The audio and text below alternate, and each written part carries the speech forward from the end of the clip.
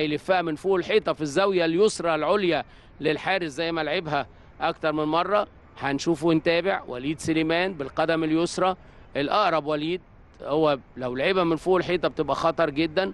جاب منها جوال كتير جدا قبل كده. وليد سليمان نفس اللعبة دي. هنشوف وليد. ولعبها وليد. وجول. يا ولد يا لعيب. وليد سليمان. يعني مخرجنا محمد دكروري قال لي هيلعبها كده وفعلا وليد سليمان بيحطها وبيسجل الهدف الأول. أعزائي مشاهدي قناة الأهلي في الدقيقة الثامنه هدف أول للنادي الأهلي وليد سليمان في الدقيقة الثامنه هنشوفها مع الإعادة. وليد سليمان متميز بيها دايما أهي اللعبة بيطلعها كده من فوق الحيطة في الزاوية اليسرى القريبة صعبة على محمد غنيم حارس المرمى الحلوة الإسلام محارب. ماشي محارب ماشي محارب لوليد سليمان وليد سليمان لمحارب إسلام يلعبها حلوة بالكعب للسعيد السعيد يلعب لحمودي حمودي حمودي وهدف تاني. هدف تاني لأحمد حمودي هدف تاني لأحمد حمودي للنادي الأهلي. كورة حلوة وجملة حلوة اتلعبت مرة واثنين وثلاثه وهدف تاني في الدقيقة 13 الدقيقة 13 أعزائي مشاهدي قناة الأهلي في كل مكان بتشهد الهدف الثاني للنادي الأهلي أحمد حمودي. هنشوف اللعبة تاني باصة والثانية والثالثة وبتوصل أهي لأحمد حمودي يحطها في الزاوية اليمنى العليا للحارس عيد كده بقوة شوية بيعتذر له. روح رياضية جميلة دي اللي عايزينها. على طول وليد يلعب على طول لسعد سمير. تجربة بلا شك مفيدة للفرقتين. مفيدة للنادي الأهلي لعبته قبل المشوار الإفريقي ومفيدة أيضا للاتصالات قبل مشواره. المهم جدا في مجموعته في القسم الثالث للتأهل للقسم الثاني. إسلام محارب.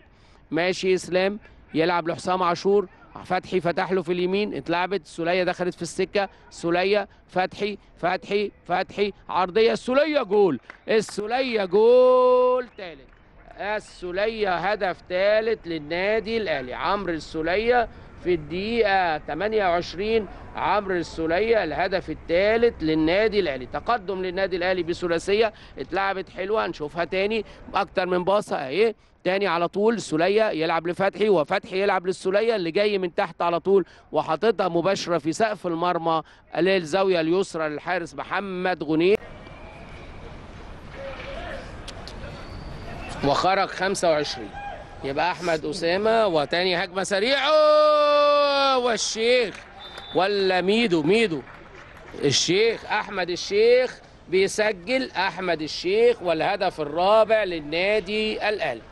أحمد الشيخ هدف رابع هنشوفها تاني الباص. ملعوبة عرضية حلوة ورايح أحمد الشيخ واخد وحاططها لحظة خروج الحارس أحمد الشيخ والهدف نادي الاتصالات يشرك لاعب تاني. ضربة ركنية للأهلي. طبعا الشوط الثاني الأهلي غير فريق بالكامل. نادي الاتصالات غير فريق بالكامل. وأدي واحدة تاني تصويبه وهدف خامس. هدف خامس. هنشوف رقم. ميشو هو اللي جايب الهدف. ميشو هو اللي جايب الهدف. هنشوف رقم كام؟ 35 أحمد حاتم.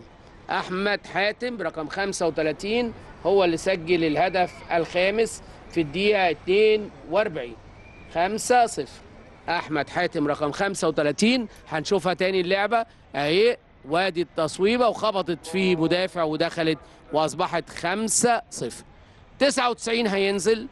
هنشوف رقم 99 محمد جعفر. آخر تغييرات خلاص. محمد جعفر هينزل. وهيخرج اتمنى كده على طول. ده استمتعوا معنا في كل المباريات حصريا في قناة الأهلي سواء الشيخ وهدف. هدف سادس هدف سادس. ده مين؟ ده ميدو جابر. ولا إيه ده؟ ميدو جابر ميدو جابر. هدف سادس. مبروك للنادي الأهلي وتجربة جميلة وحتى نلتقي مباراة أخرى. أرجو أن تكونوا استمتعتوا معنا بهذا اللقاء الودي ودائما